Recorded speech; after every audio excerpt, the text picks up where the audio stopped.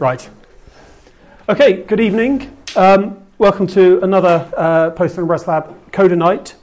Uh, the subject of tonight's talk is high performance JavaScript. And the goal of this talk is to show you how to make JavaScript which runs fast. Um, I've drawn on a few different sources for this, including looking at how the um, virtual machines work in, um, particularly in Chrome, a little bit in Internet Explorer as well. Um, and uh, what I'll do is basically I'll explain to you the principles you need to, to know so that your JavaScript goes quick. The first question to ask, of course, is why is JavaScript slow? Um, and once we understand this, we can look at what the tricks that various JavaScript runtimes use, um, and we can, and if we know these tricks, we can then write our JavaScript so that um, we will get good performance out of the runtimes. So, why is JavaScript slow? It's pretty obvious, really. Uh, it's an inter- typically an interpreted language. Um, although there are just-in-time compilers now, uh, which are very widely used, they, the com- compilation of JavaScript still takes time. As you're just downloading source code, um, you, you some rather than having stuff compiled ahead of time, you still uh, the compilation still takes time. Uh, there is quite a lot of effort has gone into making JavaScript start quickly. And of course, the more work you do, like compilation ahead of time, the slower your startup will, will be.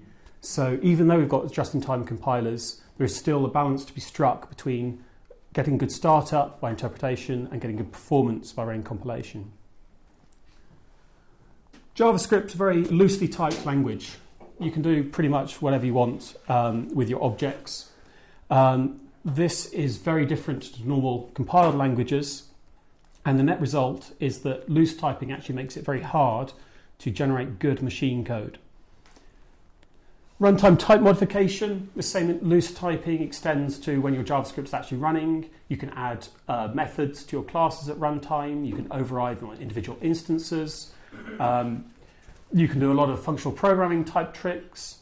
But the net result is that JavaScript programs change as they run. The structure of the code changes as they run. And a fourth one, this very big one, is garbage collection. Um, JavaScript naturally generates a lot of garbage, and the garbage collection can take a lot of time, and it stops your application while that's happening. So these, what we'll look at different ways of um, addressing these points. There's a fifth one that I'm going to add, which is I'm not going to talk about tonight, which is DOM manipulation. And the reason is because this is not specific to JavaScript. This is um, when you do um, and obviously, a lot of JavaScript programs do end up manipulating HTML, the DOM in the web browser. There are many tricks you, you need to do to do this effectively. We can perhaps do those, talk about some of those in questions at the end. But the main focus of the talk is on JavaScript language and getting the language to run fast, not about doing efficient DOM updates. So, what tricks do the runtimes use? We're going to look into these in, in detail. Type tagging is a way of uh, representing um, objects and uh, values efficiently in memory. Hidden classes copes with uh, some of the way that um, JavaScript types change. Speculative optimization means that the compilers or the virtual machines will make guesses about what's required to make your code run fast. Sometimes they're wrong and they have to de optimize. The special treatment of certain, um, certain types, particularly um, arrays of numbers, arrays of constant type. Concurrent compilation is a technique used by um, Chakra in Internet Explorer 10, where it'll compile your code in a separate thread while your code continues to execute and interpret it in the main thread. And once the compiled code is ready, then it gets substituted into the main thread. Yeah, Chakra also has concurrent garbage collection, um, uh, meaning some of that goes on in the background. So, first, type tagging. This, how do you represent a type in JavaScript? Of, of, um, a variable can contain pretty much any value. Um, a classic way you do it is you would have some sort of flag which says this contains a type, be it an object or a, a, uh, a double or an integer, uh, but that gets pretty inefficient. So, classically, um, we use 32 bit integers and we set the lower bit to 1 if it's an object or 0 if it's an integer. These are so called boxed um, sorry, unboxed types here, or tagged types. For things that don't fit in a 32 bit integer, we instead store a pointer to the actual value itself. This, this has many, uh, many nice effects. Not mainly that it means that a lot of the actual data exists as 32 bit values in your, in your program, which are very efficiently manipulated by the CPU. It avoids this dereference to get to the real value in the case of, in common cases. And what this means is that um, you can actually, in some cases, you can shortcut all the JavaScript um, uh, type variation. Take a simple add function that adds two numbers. When you actually compile it, what the virtual machine will often generate, it will check simply that both arguments to the function are, uh, are integers, which, if you remember, the small integers have a zero in the, um, in the least significant bit. So we test the least significant bit. If it's one, then it's not a small integer, and we, we do something else. Same for b. If they're both small integers here, as the lower, uh, the least significant bit is zero, we can still add them and it still remains a small integer. So this means for small integer types, we can actually treat them very, very efficiently when there's almost no special code here. However, we can write bad JavaScript. Here's our add function before. We've, run it a million times. This just gives the, um, the virtual machine a good indication that this add function is always going to treat integers the virtual machine will generate the code that we just looked at, specific to um, integers. And then what happens if we call it with two strings? The add operator in JavaScript can also, as well as adding integers, it can also concatenate strings. When we throw, uh, when we give two strings to our function, all the assumptions that, our, that the virtual machine had made are now invalid. But it assumed it was going to get integers, and it's going, oh no, now I have to treat strings as well that will typically cause the, the virtual machine to throw away all the optimized code that it's generated and fall back to some really basic slow code which can work with both integers and strings. So don't do this. Actually. Is this the case for all virtual machines? Uh, it, it's the majority of them these days. Yeah, when in the days of um, purely interpreted JavaScript, with none of these optimizations, it wouldn't. This would run the same. It would have no effect. But all pretty much all virtual machines do this, um, this now. Can I just ask one yeah. question about this least significant bit yeah. used as a flag? Is that something that they do or something that you do? It's something that they do. So then that basically means you have 31 bits available. Exactly. And 2 is equal to 1 and 4 is equal to 2 and sort of thing. I mean, who, who, who then interprets... This is all internal in, in the um, in the virtual machine. So you, it's not exposed to you as, as a JavaScript programmer. Yeah. Okay. The, the yeah. number types in JavaScript are always double. The officially the number types in JavaScript always doubles, but in practice, um, quite a lot of or programs use integers a lot, mm-hmm. so they have a special case for treating small integers. Mm-hmm. Um, we're talking a little about box uh, doubles and box doubles and so on. Um, but yes, this is all internal to, to, to the, the virtual machine. About arrays. Arrays in JavaScript, you can put any object you want in there, but this is pretty inefficient if you've got, you know, if we have to have an array of doubles and all of our doubles, in fact, as we are, it's an array of pointers to doubles allocated somewhere else, this is not going to be very efficient. So the net result is that the virtual machines have special cases for arrays when they see that they always contain the same type. And so here's an example of how we'll, how now we'll break this. We'll create a new array. This will initially be an empty array. We, we set the first element to a small integer the, run, the, run, the virtual machine will typically say, ah, this is going to be an array of small integers. We had a second small integer, and that's fine. Now, if we suddenly add a double, two things the, the array is starting to grow a bit now, so it'll need to allocate more space. And secondly, um, it'll, okay, now I'm storing doubles, not integers. and it will replace what was previously an array of small integers with array of so-called unboxed doubles. These are just the double, the raw double values themselves without the pointer reference. So we're already causing more work. And now, if we, the worst thing we do is add a different type here. We store, add a boolean into our array. And suddenly the, the array's grown, so it's an allocation. And it's now, uh, the virtual machine will change it now from unboxed doubles into an arbitrary array of objects.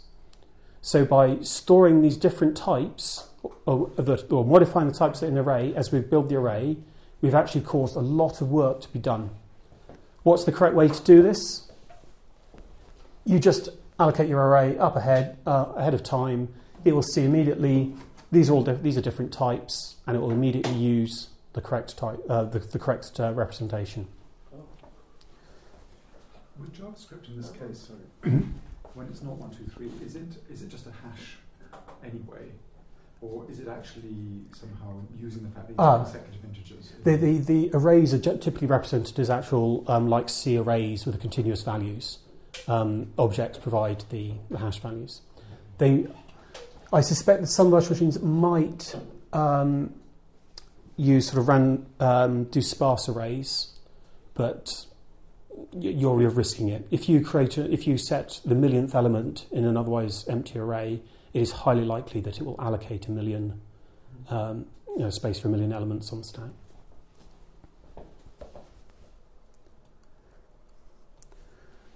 So now about, about objects and particularly classes. Traditional programming languages, um, Java, C, uh, C++, always have a fairly strict class hierarchy, and code is shared between instance objects through these shared methods. So you define methods on the class, then all instances um, of that class can use those methods. How can you do this with, with JavaScript? Everything is very dynamic in JavaScript. The way you create objects um, through prototypal inheritance, uh, it's not always clear whether two objects really actually have the same structure or are the same, same class. The way that the trick is used is use the order in which properties in the object are initialized to try and get a heuristic guess of what class that object is. Then you have two separate objects whose properties have been initialized in the same order. You can assume that they're the same class and then use the same optimized functions on both of them. Um, this is a thing called hidden classes. Um, I'll give you some references so you can look into this in more depth. I want this quite a high level uh, look we're doing today, but I'll give you references to explore this in more detail point here, we're going to create an object. First, we set an, uh, x property on it, uh, and then we set the y. Here, two calls to the same thing. We create two objects, both have x created and y created. The, the compiler internally will um, know, consider these two have the same so-called hidden class. The advantage of these hidden classes is that um, there are many advantages for showing code. Secondly, the internal representation of point, once you know its structure, you can say that, well, X is always st- stored in a, a, slot 0 and Y is always stored in slot 1. And now when you do property lookup on this, when you do this.x, if you know you're a point or this hidden class, you can just go straight, ah, that's the thing not in position 0. When asked someone asks for this.y, that's the value in position 1. So you avoid all this sort of hash lookup of strings how it does rely on the, um, this heuristic of using the um, order of setting properties. If I add a new property to P2, here I've added an extra Z coordinate, this will give P2 a, a different hidden class to P1 and you will lose some of those advantages. So, a final, a final type of types going badly. This is a lot of trendy JavaScript libraries um, use um, code that looks like this. You avoid, you drop the new on your constructor, which doesn't matter. But afterwards, you might have call a center method to set a center of a circle. You can pass some arguments. When you call center, it returns the same object, so you can then chain multiple calls together. It looks really cool. Is Sorry, for, for this kind of API? Um, I call them hips. Sorry? Chaining methods. this method, yeah. This method is, uh, uh, I call them hipster APIs, but I don't like them. like jQuery. Exactly, jQuery is a good example. Leaflet in mapping is, a, is a, another good example. Oh, um, sometimes there are called them fluent APIs. Yes, oh, that's a good word. Yeah, fluent APIs. Um, with these fluent APIs, this same center function or method, when called without any arguments, will return the current value. You might hear it's returning a little array, but we tend we like them to be fluent, so we also like to be able to set centers with an array or um, centers with object literals, where you look at x and y properties and so on. Now, how is this going to? How does this actually implemented? What do you have to do? This is what the actual implementation of one of these functions tends to look at look like. You check the arguments value. This is a magic variable that gives you all the access the arguments of the function as an array. If we've got no arguments, then we return the current center. Otherwise, we do a whole load of runtime type checks uh, to work out what to actually do and return, rather than returning a center now, we return this object so we can use the fluent uh, uh, method chaining. This code, it makes very pretty APIs, but the, the VMs don't have a hope of compiling this into good code. There's the types are, as the types are non-consistent, it has to do these checks each time, and these as a result, these APIs are pretty but have poor performance.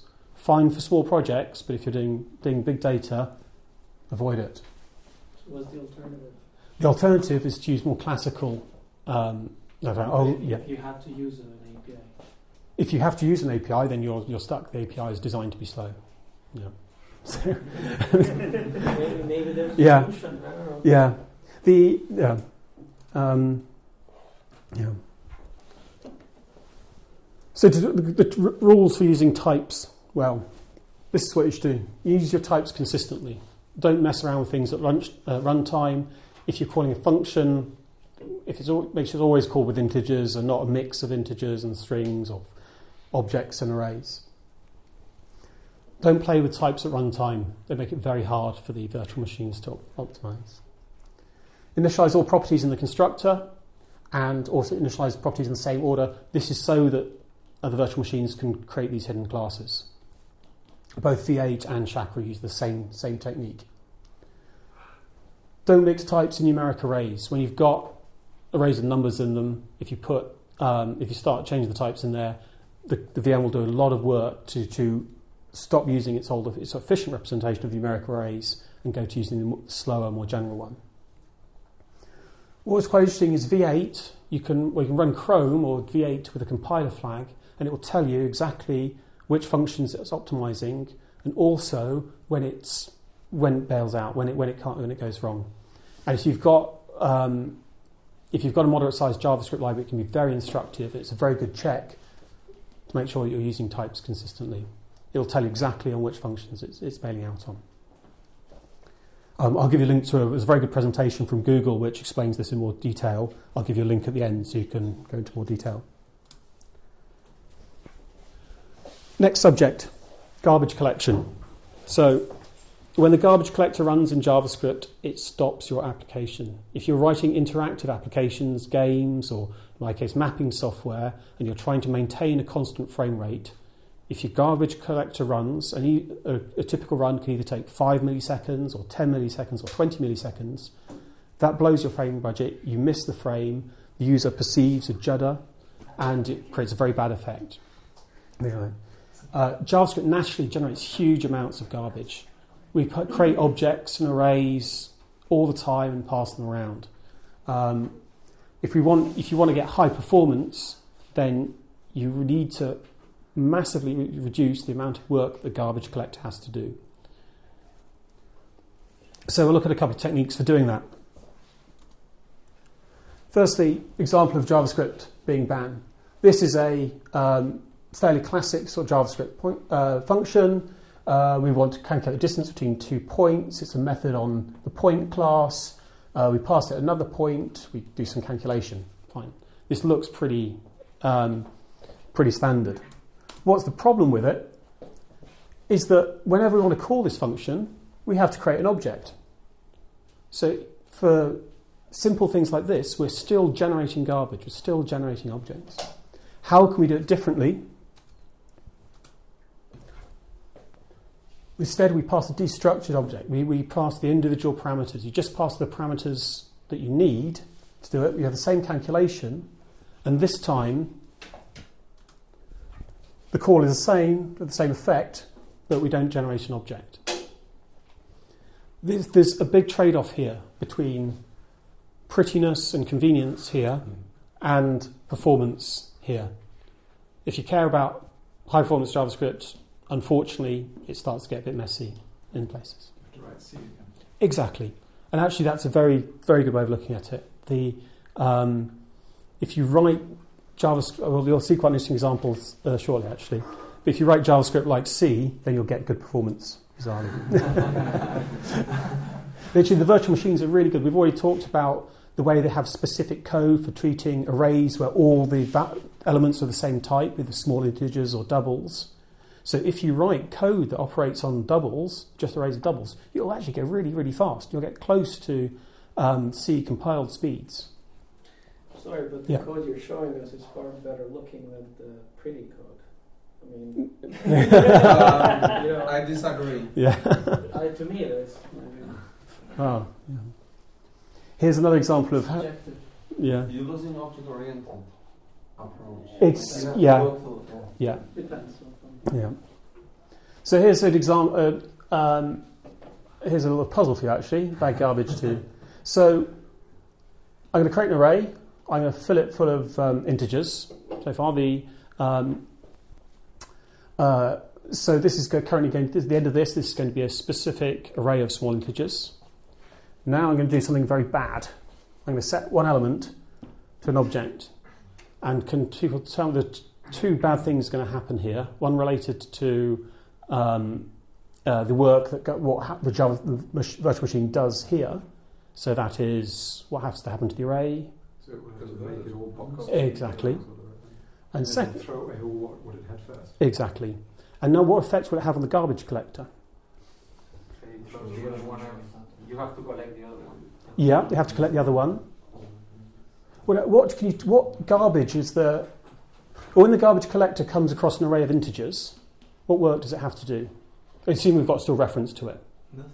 Nothing. Yeah. When we have to have an array of now miscellaneous things, what does the garbage collector have to do? Exactly. Exactly. So here we see another case where um, if, we if we can use constant types in our arrays, we make the garbage collector's life so much easier because it knows it doesn't, it doesn't have to traverse these things for a mark and sweep um, allocation. So, a bit of a gotcha there. Now, an example of destructuring data. We saw a little bit of the case in a um, in the in the distance to method earlier. Now, as a more extreme example, say you want an array of points, a fairly simple thing actually. A classic way to represent it is this. Here, however, we've got um, how many objects in here? And how many objects are created by this piece of code? Four. Four, exactly. Yeah, three, uh, three objects here plus the array. This array is of arbitrary objects, so the garbage collector has to traverse it. Can we do better? Well, if we decide to use arrays for our points, then we certainly make the garbage collectors work more easily. It still has to go through the outer array, but it sees each of these arrays of numbers, and so it's, um, it doesn't have to look inside those. However, when, this, when we lose the reference to this, we still have, we've still created four objects. We can go one step further, and if we destructure our data completely, now we have just numbers. Of course, we have to write our code now to iterate over yeah, pairs, but no, behind a well written API, this is. So that's more efficient. Exactly. Yeah. This is by far most efficient for terms of garbage collection, um, but it's more painful to write, that's for sure. But you would have to, yeah. Sorry, oh, sorry um, you could have to erase one for the x and one for the y, for example. All the x in one array. Mm. Uh, you could do that as well. Yeah. Yeah. Yeah. It's just yeah. limiting the number of objects. Exactly, exactly.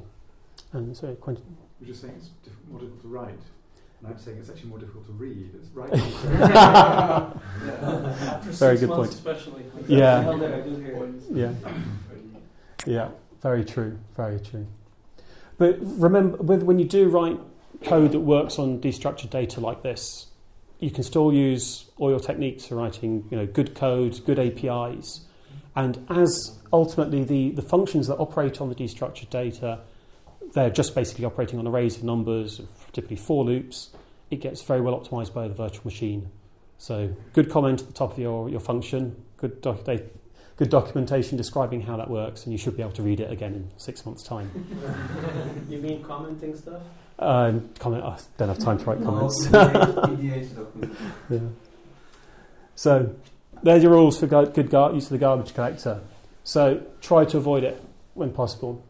You can reuse arrays and objects rather than. I didn't give an example of this, but um, uh, it's a fairly a common pattern that um, you pass in an object and you want to compute a slightly different version of that object. You, pass in a point and you want to tra- add a value to it, translate it by uh, sort of rotate it around a certain point.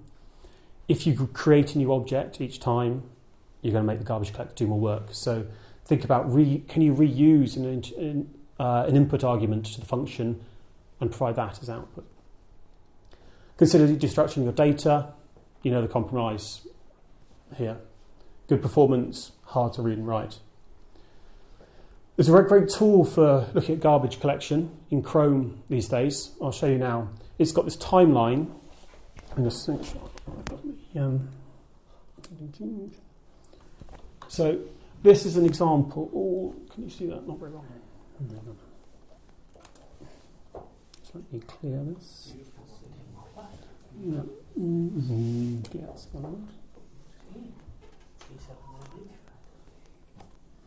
So this is this is a mapping application. These lovely tiles are generated by a group called Stamen in um, who owns San Francisco, and they've done the whole world as um, these sort of uh, rather lovely wa- uh, watercolor tiles.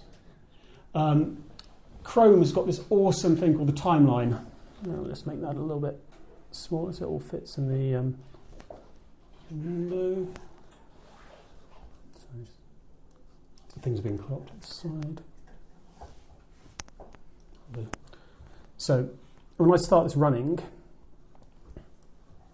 what you see here is very quite it's quite a fine line. I hope you can see. This is this is memory usage over time.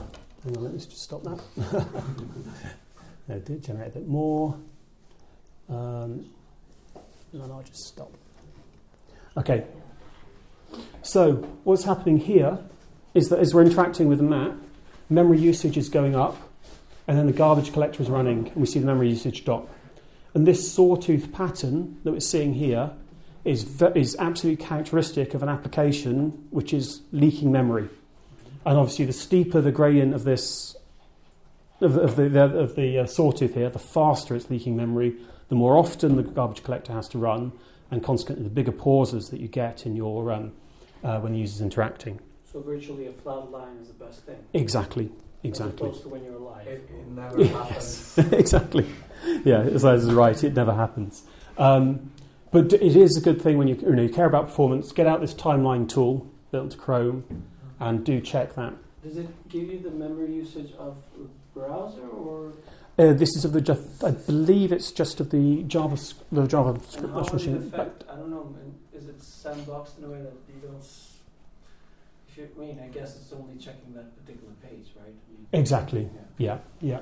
You do get some other stuff here. The uh, these counters are a document count, DOM node count, event listener count. These are other. Um, obviously, if you're interacting with the DOM, these care, these matter. Um, if you see these values changing, which don't, because this is at least this application gets that right. Sorry, I don't see those values. I'm sorry. It's uh, hang on, let me. Um, 19 or 29. yeah. Uh, can I do a? No, it's not going to work on that one. Okay. Sorry, this is DOM count is 1, yeah, 519 and 32. This is not changing as we interact with the map. So at least this application is not leaking uh, DOM elements or event listeners and so on. Um, yeah, so here the flat line is good. Um, this is a, a, fantastic tool, Timeline. I'll just show you one final thing on it. Um, we can actually. Oh, hang on, let me clear this. So Chrome is the best tool by far. Um, I, I, both Chrome and Firefox have got excellent debug tools at the moment. Um, Chrome seems to be a little bit ahead in many areas, but Firefox is equally very good. Yeah, I don't think Firefox has this timeline, for example. Um, for the, the, inspection of DOM elements, yeah. Firefox I think is better. It gives you it's, all the margins in it. yeah, yeah. They, they, they, they, both have a lot of that stuff. I'm not. Yeah, yeah. Um, you can also break down. Um, you actually get here a full breakdown of what your code is doing. Sorry, this is quite small. This says uh, we receive an event from mouse move.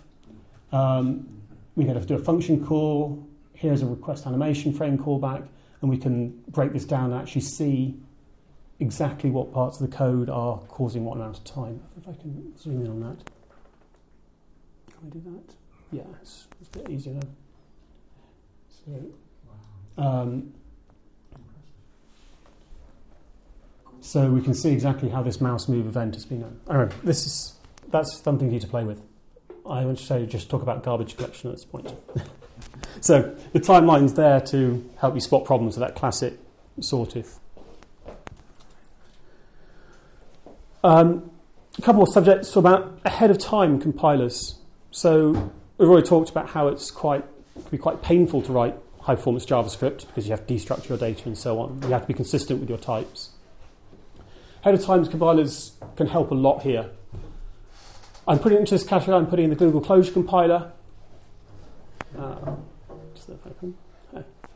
so in this category, the Closure compiler, uh, Dart, uh, Dart is Google's new um, sort of JavaScript replacement language, mm-hmm.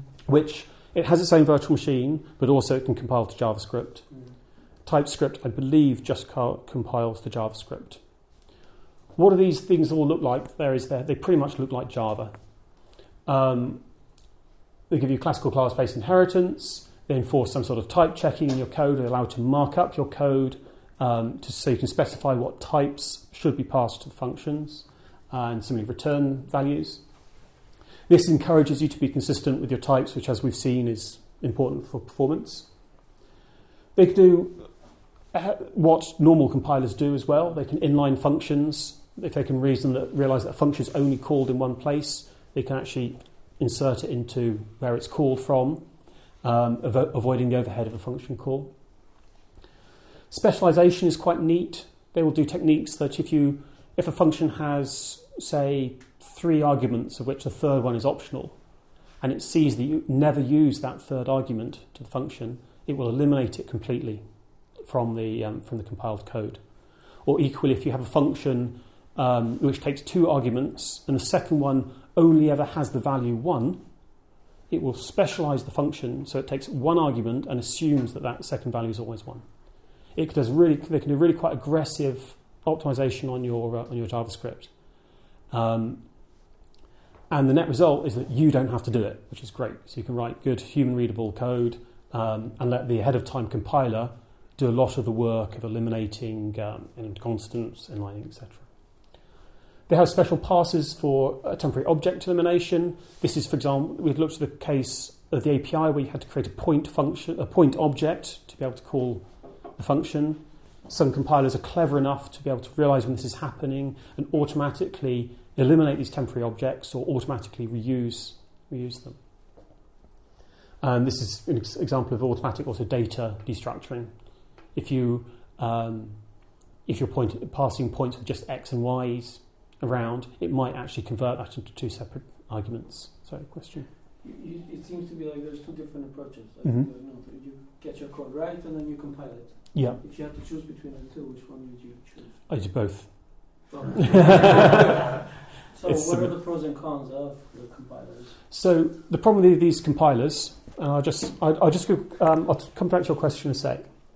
This is just an example of what, what is a very simple example of what um, Closure compiler code looks like. we mark up in Java suggest doc style comments what exactly the argument, the types of the arguments are, or return types. We also have a whole load of other stuff: interfaces, classes, private, public, protected methods, all sorts. But it's all the same principle. What happens then is the compiler uses this, two, this information to check that your, your code actually can, um, confirms uh, conforms to these these types. Um, so if you try to call our sum, which wants integers, function, it will it will compile. It will give in a compile error. Uh, secondly, in many cases, so enforces the type consistency. Secondly, in many cases, it can use the type information to make more aggressive optimization um, of your uh, of your code. For example, if a private method specific to a class, if it knows that method will never be called outside that class, it knows the types of everything in that class, it can make a much better job of optimizing it um, ahead, you know, before it's sent to the Java virtual machine than if it had to write a general, um, create more general, generic code.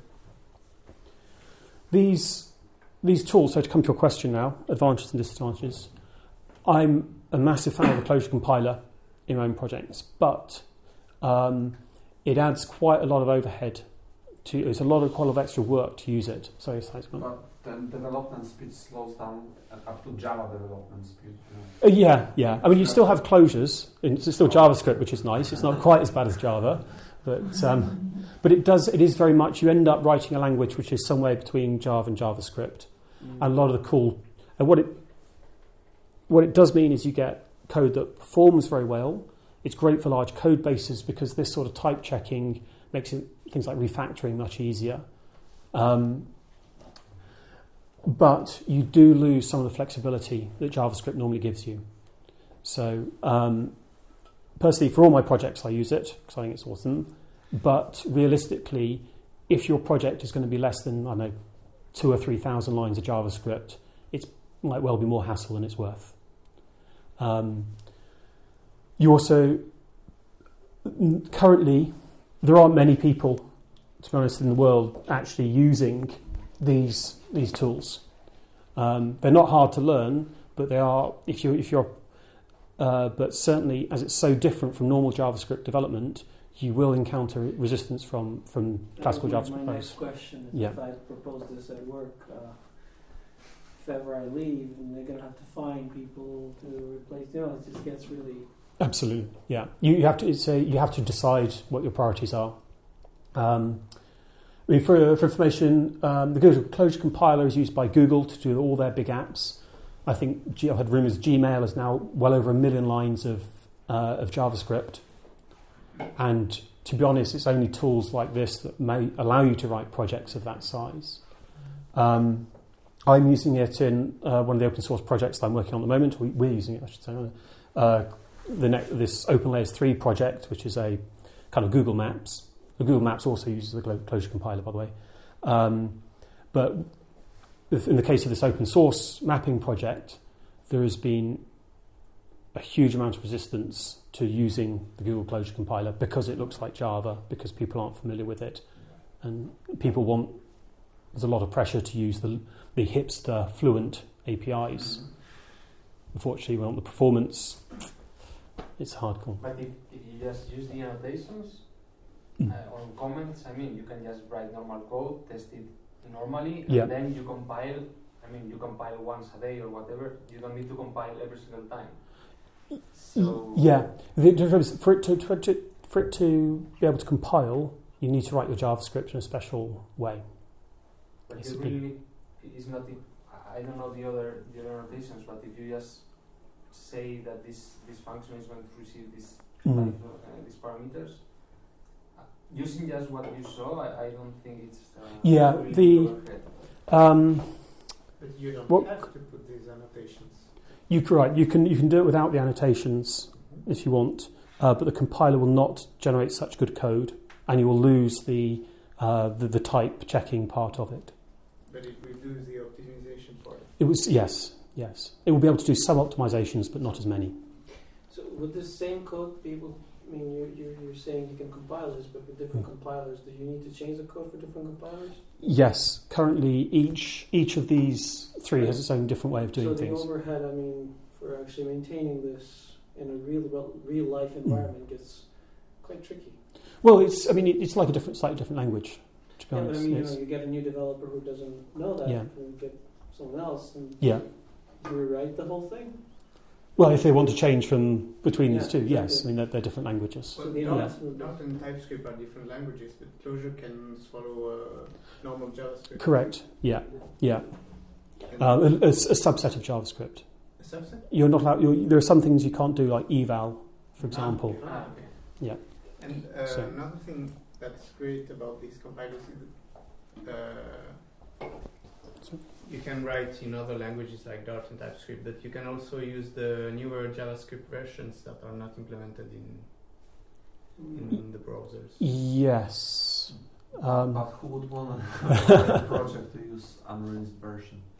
I mean, If it You- compiles you- against you- a previous Well- they are released. yeah. you would go to your boss and say, okay, no, no browser. No, but you compile against a It's the source language. Mm. You don't care about the source language. The target language has to be understood don't by tell the them. browsers. Yeah. And uh, what about CoffeeScript? I mean, do Yeah. CoffeeScript compiler do something of that or No. nothing at all? Nothing at all. CoffeeScript is is kind of the good parts of Java with a Ruby-like syntax.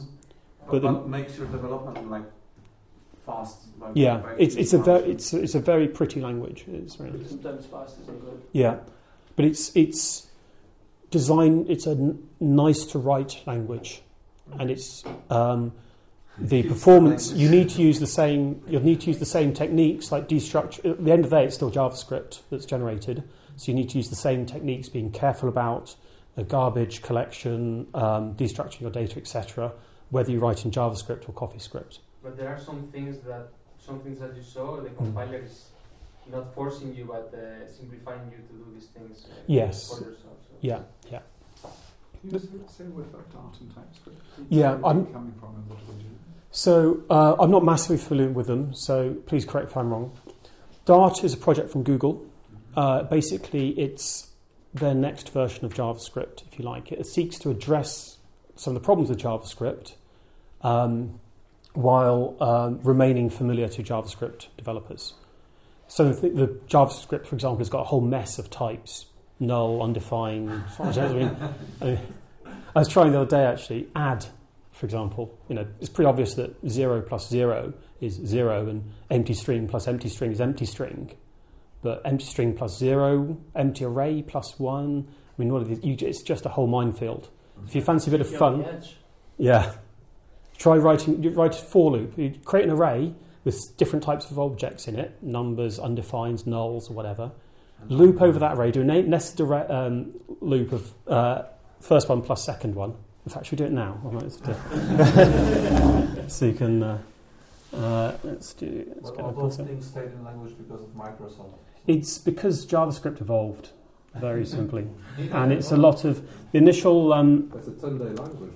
yeah, the initial version of JavaScript was developed by Brendan Eich in uh, about ten days. Two weeks, yeah. Yeah, And he wanted to do a scheme based language. yeah. Can keep people see if I what I'm typing here?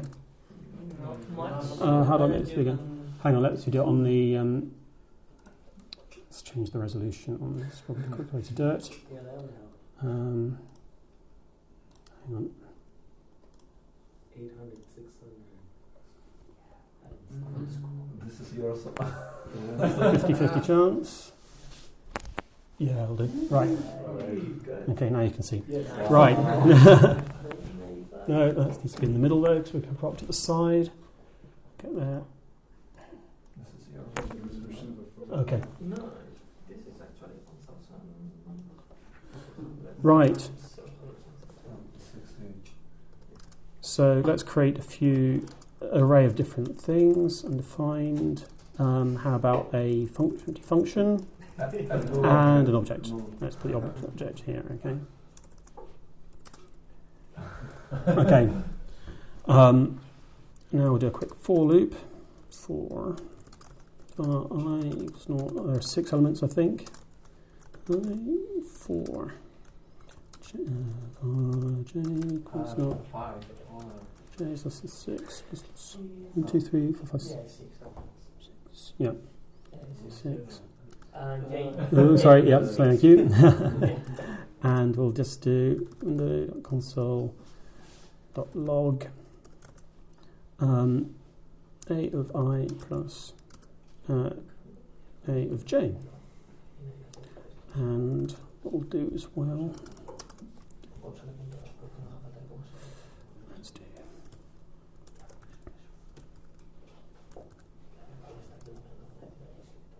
sorry, just to make it a bit easier. Type a of i plus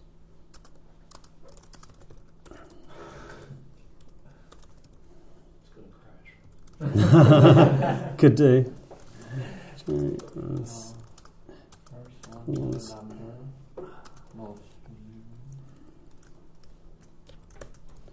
Let's put a little plus in here. Does will this work? No. See. I should have prepared this ahead of time. Hang on. Where is this? I, I won't spend more than one minute on this if it doesn't work. Is the quote too much? Okay, one, two, three. You're right. Oh, yeah. Yeah. Equals there. Yes. Okay. Split it up. Number is zero, but number plus undefined is nan. It's kind of weird. yeah. String plus function, undefined plus number. Where's the array stuff here? I don't have an array in there, do I? Oh, arrays, you don't see them because they're. I'll do this differently. Let's do it explicitly. So, arrays objects. yeah, that's pretty easy. What do you reckon? Uh, Sorry, make that do this at the top. None. None, okay. So we've got. Or undefined, Garlic but naan. none. All five. No, it's. Zero String. string. yeah, Yeah. Wow. this should be obvious. Naan. Empty string? Ah, no, empty, right?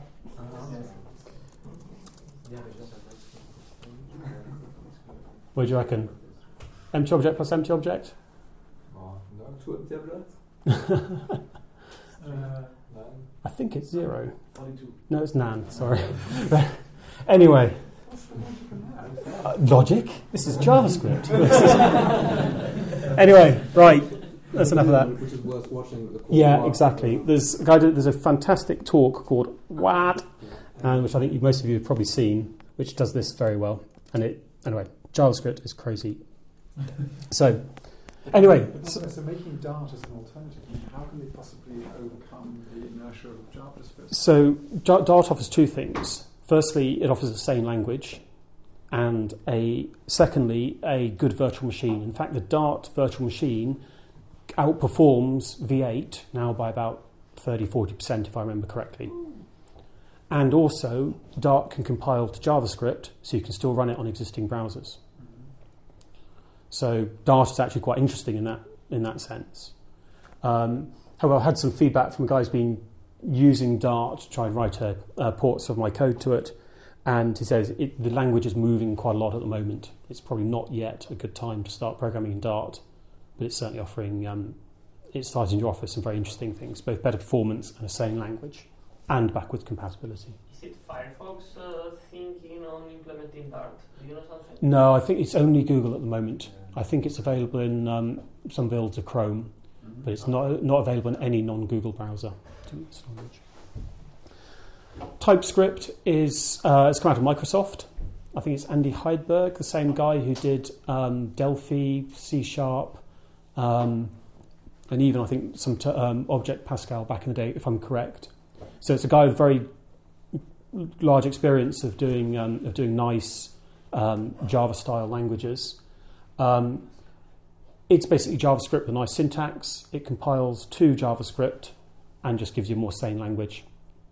Um, it uses the same um, virtual machine as JavaScript, so it doesn't have the new virtual machine that Dart has. But it's a smaller step than Dart. They say it's closer to JavaScript than CoffeeScript. Yeah, CoffeeScript is very different. Yeah. The, yeah. Um, CoffeeScript is also very untyped. It's very Ruby-like. It's, it's whereas all of these three here, they care about types. They give you these sort of classical class-based hierarchies and so on. So these header time compilers, they they can help you, but also it's a bit of effort to use them. Talked about that. Um, the final couple of things I think I've got one more couple of slides on ways to make your JavaScript go quicker. Then there's a summary, and then we can do more discussion. So another way of speeding up your JavaScript is to not use it. use, use native code where possible. And now we're getting higher and higher level libraries available in JavaScript. If you want to do 3D graphics, use WebGL. 2D graphics, use Canvas. Um, you don't need to manipulate pixels in JavaScript anymore. If you want to make things animate and, and, the, and change position in, in, your, in, your, in your web page, you don't have to have a little loop which updates its position. You can use CSS transitions and animations to do this sort of stuff. In this case, it's native code written in the browser, or running in the browser, which is doing your work for you, and it's a lot quicker, or often a lot, usually a lot quicker than doing it yourself in Java, in JavaScript. It is quicker, but you're limited in what you can do, I should say. Um, there are a lot of built-in methods into, the, into um, for example, arrays have splice and strice, and strings got char code at, and so on. And with a couple of tricks, um, particularly if you know how to use call and apply in, um, in JavaScript, you can use them. I'll give an example of this. So here's an example of exploiting some native code. We want to find the smallest uh, value in an array.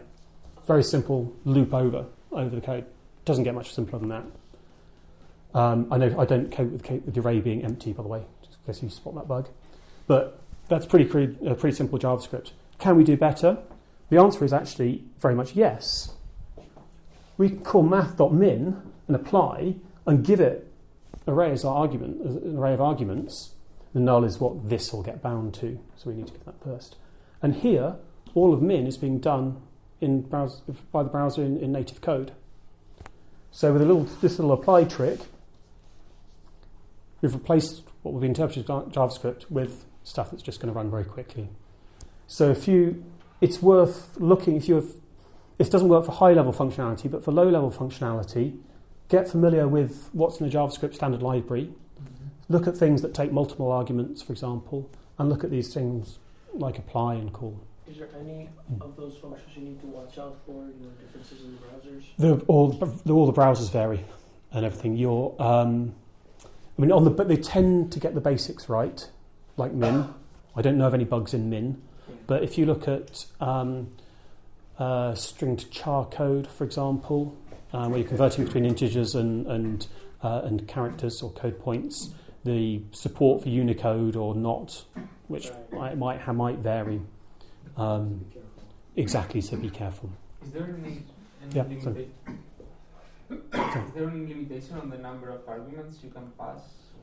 Not as far as I know, but I haven't tested it. Because if you have a really big array, I mean, that will. Yeah, yeah. I, I don't know. You have to test it. Actually, hang on. Let's.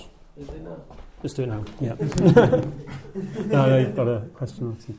Um, so let's do uh, r a equals rounding new array of how big should we make it? A million. Okay. For i equals naught, i is less than array a dot length plus plus i. Um, we'll do a of i equals i. This is not going to be a very interesting one. Okay, um, and now math.min.apply uh, null and a. Okay, there is a limit, but I don't know what it is. We can go okay. down and find it. I'm not going to do a manual binary search. Life's yeah, too short. Do, do that one at home. Yeah, yeah. Google might know the answer. But I'm not going to ask it. Um, Okay, so native code, use native code when you can. Uh, aren't you losing uh, inlining optimi- uh, optimizations when you use native uh, functions? Not necessarily, because I mean this is this will receive whatever object. Well, you know, it might be an array of doubles, it might be an array of ar- arbitrary um, objects, it could be an array of small integers. Mhm. It will be. It's up to the native implementation of math.min to decode that correctly. Yeah, but if you call it, for example, with an array literal, there's no way to do the constant propagation that would result True. in a direct uh, answer from the compiler instead of having to run the code. You're correct, I believe. Yes. But in, in, if you don't know what the your the values of your the arguments are going to be, Mhm. then you have to calculate it anyway. Yeah. Is that okay? Yeah. So. Okay, people have taken this to the extreme. You might have heard of a project called um, Emscripten, which takes C code and compiles it to JavaScript. And this sounds pretty weird because everyone knows C has got pointers, it's got malloc and free for memory allocation. It looks nothing at all like JavaScript. The way that Emscripten does it, and it works actually very, so well that a number of game demos, you know, high performance 3D games game demos, have been ported just by compiling the C code and running it on V8. Oh, wow. Um, Is that how Doom was ported? I don't know. I don't know. Um, we can ask Google. Sorry, I can show you. I'll show you um, a demo perhaps after the, the talk. How did it do this? Actually, what happens is, for memory, it allocates a very very big array of numbers. Uh, numbers then you, and then it treats that like a big block of memory. And when the Java, when the compile C compiled to JavaScript stuff runs, it actually allocates. It's got its own memory allocator inside that big block of I don't know how many megabytes of memory you give it to it. Everything works at the level of small integers and doubles. There's no JavaScript objects floating around, or very few of them. Um, and it works. And actually, it generates code which is really um, uh, gets very easily optimized by the um, virtual machines because there's no, none of these type checks. There's no fluent APIs in there, um, and it just generally works. ASM.js is a kind of formalization of this. It's they've worked out what worked really well in Emscripten and taken it out and said this now is a potential target language for any language you want to write. You write a compiler, we'll take your favorite language, convert it into ASM.js, which is kind of assembly language. Um, it's um, what's kind of cool at ASM.js actually is a complete strict subset of JavaScript. So anything that's written in ASM.js, I'll show you a little example in a sec, is also valid JavaScript and will have the same behavior. Um, so you, it solves the back portability problem as well. Is there something it cannot do? Yes, it's basically very limited. It's uh, to you get just get the most primitive types, uh, int like things, double like things. Um, what else? Probably not much else actually. Uh, then it's up to you. This is an example of a ASM.js module, and this is both valid JavaScript and valid ASM.js. We put it all in a module here. This little magic keyword um, says the, re- the rest of this block is all ASM.js stuff. If it doesn't, if your virtual machine doesn't understand it, it doesn't matter. If it does understand this ASM.js direct- directive, then it can compile this code uh, probably quite effectively because it's a simplified version of code. How does it work? Basically, it does little extra manipulations that forces JavaScript to behave like kind of a 32-bit CPU crunching through simple um, simple operations. For example, the, the bitwise OR with zero here, whatever the value of x is, this will force x to be an integer, a small uh, integer. The here, in the end here, it also copes with the overflow. If you've got two to the uh, uh, 30, um, 31 minus 1, and you add 1 to it, and it overflows, this actually will have the correct behavior. Um, the plus here says this is a number, so it's a slightly, in fact, a double in this case. So this is int, this is double. This return forces the return value to be a double as well. So these, these, these, these the way that the type hints are written. They have the effect that in normal JavaScript, they force the, the, the same beha- the desired behavior, and anything that understands ASM.js will go, ah, okay, that just means x is an integer, and, and so on and so on. Finally, we return actually an object which has where the properties are the functions we've uh, defined, and then we can call it fast.inc1. This will call the inc function, which eventually will be optimized well. So AsmJS is kind of interesting in the sense that um, as, as we get more and more machine, uh, languages running on the, on the virtual machine, on the Java virtual machine, there's a reasonable chance that we'll start to see AsmJS as a, as a target, as a back-end language for, um, um, uh, for them. Is there a real implementation, or is just uh... the? You can definitely use it in Emscripten, and I think there's a um, there might be a build of Chrome or Firefox with it. I think there's one implementation floating around at the moment. Yeah. So this is the summary of what we've talked about, very high level. You want to write fast JavaScript. This is what you've got to do. Number one, be consistent with your types. Don't do fancy stuff. Just, you know, take your Java medicine and suck it down. Use classical programming patterns, classic inheritance. Mean, this is what the compilers, the decades of compiler technology have been focused on C and Java like languages. Um, that's what gets optimized well now. If you use the classical programming patterns, um, you will get better performance out of your JavaScript. Use native code where possible, kind of goes without saying. Watch out for garbage. And finally, measure stuff. There's, uh, we had a quick look with the Chrome uh, time, timeline tool there, looking at, gar- at, at garbage collection use. Um, we said other, we mentioned Chrome can also tell you when your functions are de-optimized. Uh, there's a great um, website called jsfiddle.net, which allows you to write in different different bits of, of JavaScript and benchmark them and run them on different browsers. It's great for finding out actually what works well and what doesn't. Um, so that's how to do it. The few links or resources to look at.